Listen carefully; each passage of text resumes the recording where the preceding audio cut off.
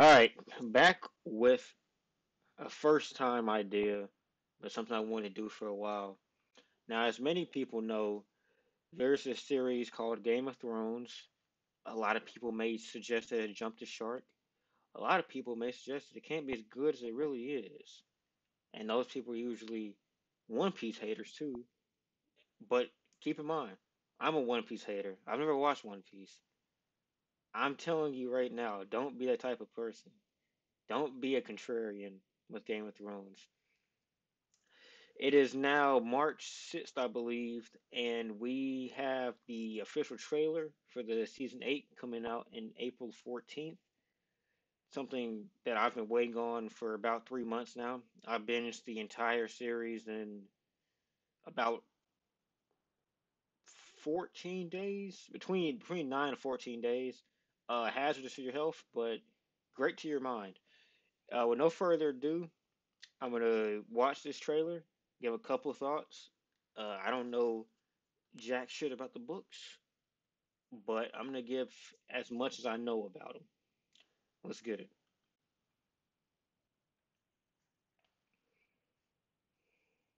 All right, we start with Arya Stark doing the running man. I think that's Sir Davos. Let me. I'm not gonna pause too often, but a lot of people complain about how dark this trailer was, was, and it is incredibly dark at the beginning. This is my second time watching it, by the way. Sir Davos, we got Varys too. Okay, April 14th, the the Golden Day. Now this this right here is a Golden Company uh, that was mentioned briefly in season seven towards the end by Cersei Lannister, the massive mercenary crew that she would be buying to fight off Daenerys's army, um, and as well as the North, the Vale, etc., etc., the Wildlings. And while I think in a one-on-one fight, even with the mercenary army, I still think that the North would have the North plus Daenerys would have more men. I think for, this is my assumption, not based on anything in particular. I think it's going to be a two-front war where you have one side Jon Snow, probably the Wildlings, Daenerys against the uh, the the Night King, Jaime Lannister, uh, Brienne of Tarth probably, and then on the other side you have Arya and Sansa back at Winterfell, likely holding it down against Cersei and uh, the rest of Westeros. I think they have the rest of Westeros conquered. Conquered, I'm pretty sure. Oh yeah, I forgot. My bad. I forgot to actually say who this. So you get back here, and this is supposed to be Henry Strickland, a character. I think it's Henry, right? Henry Strickland, a character from the book, who uh confronts Aegon Targaryen, not Jon Snow, another Aegon Targaryen, and his cohort Jon Connington. I don't think there'll be another Aegon Targaryen, so they'll probably a different character. So we got Tormund, uh, my man's with the fire blade. Wait, the guy with the fire blade, he died and no, no, no. The guy who revived him died. I'm sorry, I'm not good with the names between that whole crew, the the Brotherhood of, without banners or whatever. I'm not good with their names, but I thought he died, but he didn't die. The guy who always revives him died. Shout out to them for surviving against the Night King as well. I don't know who that is, but this is, I believe, Winterfell. That couldn't be Bran Stark because he can't walk. I don't know who that'd be. So that's Daenerys, Jon Snow. You got the dragons. You got the army. This is Gendry leading the um, what I presume would be as many worlds as they get together to make um, dragon glass, and that's going to be interesting. I don't know how much they could possibly accrue. I don't know how many numbers they have, but they do have a lot of pretty much the entire north to work with, and you know Daenerys has conquered lands. So you got uh, Jorah Mormont. He's I'm telling you right now, Grey Worm. Is, hey, just get ready for it. That's all I'm gonna say. I'm telling you right now. Jaime the God Lannister. Uh, piece of filth, Cersei. I got something for. I got a couple thoughts about the dragons. I got a couple thoughts about them. I presume. Let's get back a little bit more. I presume this is the first scene. It's either the first scene. This is probably the first episode where Jon meets uh Bran for the first time. I don't know how long. This is probably after they meet. He probably tells him to go to the tree. I forget like the blood that comes from the tree, right? There's something special about putting your hand in a tree that I forgot. I think it's something to do with the warg feature um, that only Bran has in the movie, in the show, in the the books. I believe all the Starks were wargs, but maybe Jon will unlock like warg, Super Saiyan three, Super Saiyan warg God. Maybe I, I I presume though that touching those trees will allow Jon to see something that he wasn't supposed to see. so we got we got Clegane. Uh, that's a quick pause. But we got Clegane. Uh, if you saw the the collection, the was it GQ? I think Entertainment Weekly. They had the two Clegane brothers fight each other. So I suppose I mean everybody knows there's gonna be a fight between them at some point. If the two sides are fighting, uh, there's gonna be a fight a fight between them individually, which is gonna be worth watching. I think it's from seven, isn't it? That's from season seven. The dialogue was anyway. So this this is the scene I think a lot of people were looking forward to. That's a perfect pause, by the way. So I believe the dragon on the right is is Drogon, right? I believe the dragon on the left is Rhaegal. Um, should I call him Targaryen? No. Uh, the dragon that is one of the sons of uh, Daenerys called Rhaegal and obviously is named after Rhaegar Targaryen, uh, the father of Jon, and I believe the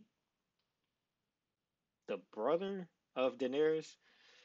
Obviously, I mean, he's gonna be, you know, Jon's gonna ride Rhaegal. I mean, come on.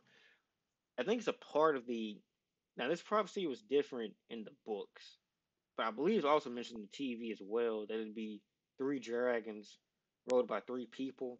I'm not sure at the time because I think it was mentioned in the TV show around season two ish. I think from what I can remember.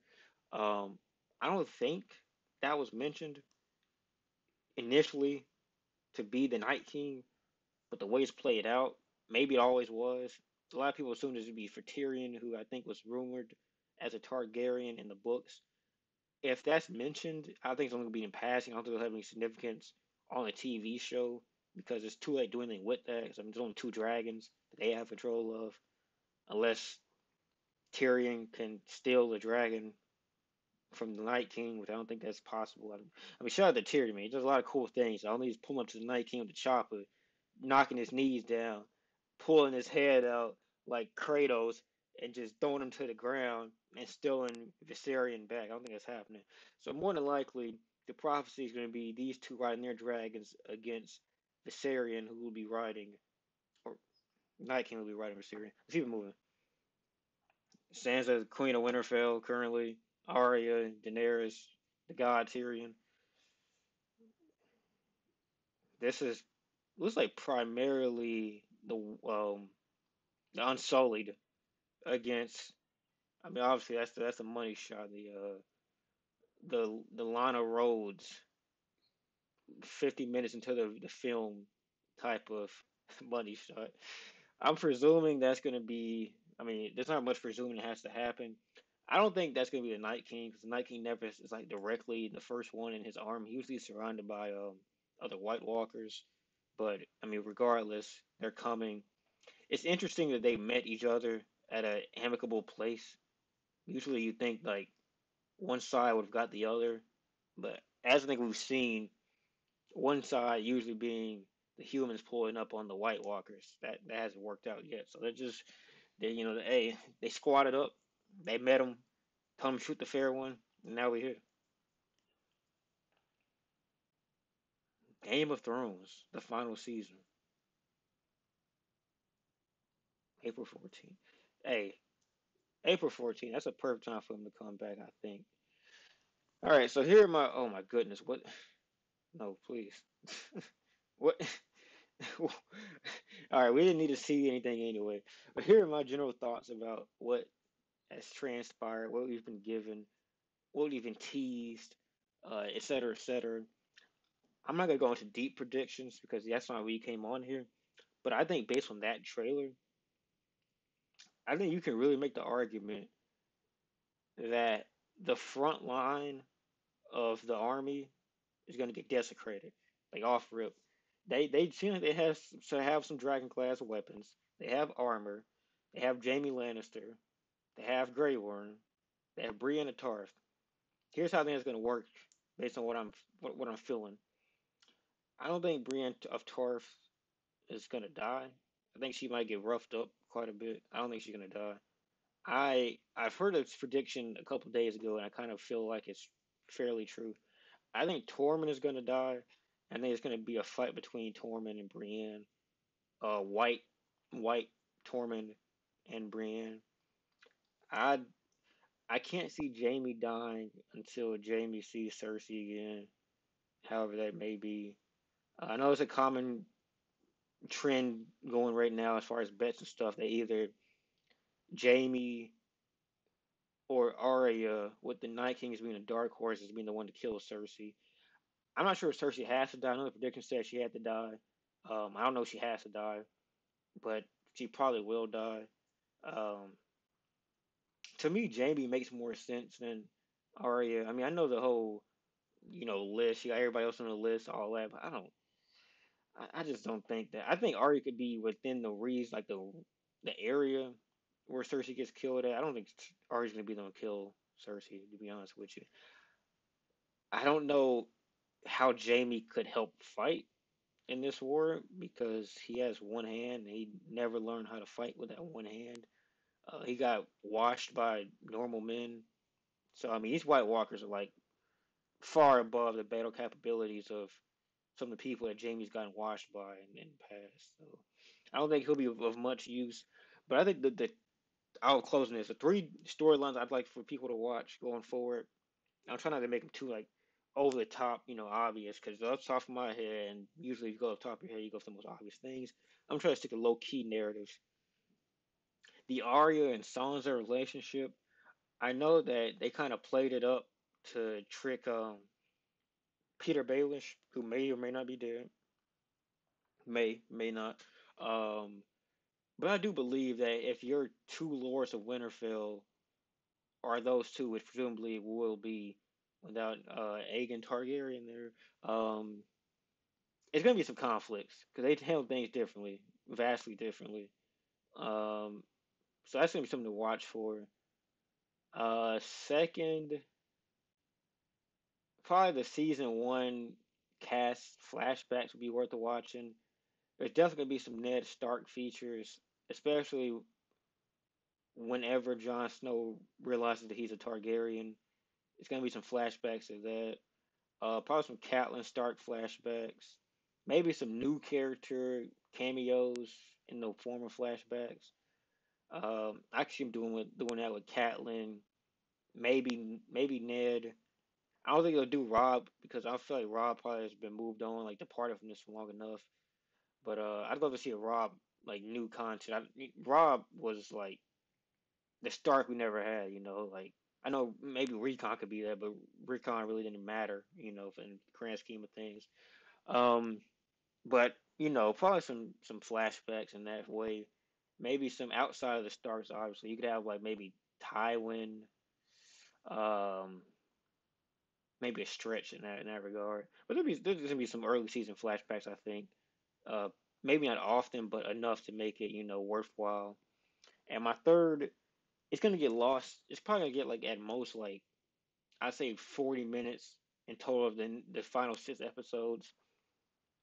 But the Theon Greyjoy narrative closing out, um, the seventh Stark child, I guess you want to think about it like that, he his narrative has pretty much felt like what's a good comparison to Theon Greyjoy? Think like any character in any show that like just gets his ass beat constantly, but like never gets his comeuppance. His only veritable like worthwhile like win like W since being decimated by by Ramsay Bolton was like Jon telling him, hey, you know, if it wasn't for my family, I would be just like living hell out of you. But at the same time, it's still a start. So I mean, you know, take your take your chin off the ground, man, and stop stop being a dickless weirdo, man. And that that was followed or uh succeeded by him getting the hell out of him to pilot a boat of like ten people against Euron Greyjoy, which I mean, maybe Euron's preoccupied and like he doesn't see Theon coming, but um, realistically, that probably shouldn't end up in a W for Theon. I hope that Theon takes a W. I don't think even if he does, it won't really matter in the grand scheme of things, unless like Euron has the, the uh, Golden Company pulled up, and then like like Theon bombed the boats and like sunk the, the Golden Company. Like that's something I could think of that could like be of effect for the rest of the, you know, the rest of the world. But you know, shout out to my boy Theon. I think he deserves at least one more W before it's all over with. And uh, yeah, that's my thoughts. Uh, hope you enjoyed. Hope you enjoyed season eight. Six episodes. I'm thinking an hour and twenty minutes runtime would be, you know, worthwhile. I mean, I think like an hour and a half might be a little bit much, but I'll take it. Of course, it definitely can't be just an hour flat. You know, they're gonna have to make a lot of they don't really have any narratives that they need to close per se, but I mean, we need a lot of content, man. This is this is it. We haven't gotten a ten season episode in like what three years or something like that. So I we deserve some hearty runtime, and I hope we get it. Uh, peace for me. Shout out to Robb Stark.